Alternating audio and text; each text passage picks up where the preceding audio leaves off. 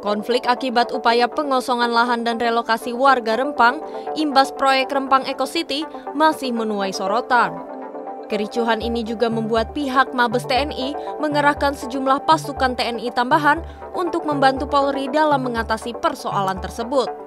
Penambahan ini menuai kontra dari pengacara publik dari Public Interest Lawyer Network Indonesia atau PILNET, Theo Revolson.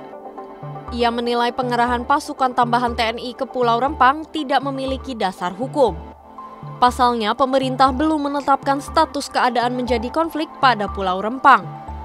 Namun di sisi lain, Kepala Pusat Penerangan TNI Laksamana Muda Julius Wijoyono membantah adanya penambahan prajurit TNI ke Pulau Rempang. Julius juga menyatakan bahwa Mabes TNI hanya mengirim tim polisi militer untuk mencegah oknum prajurit yang terlibat dalam sengketa kepemilikan tanah di pulau tersebut.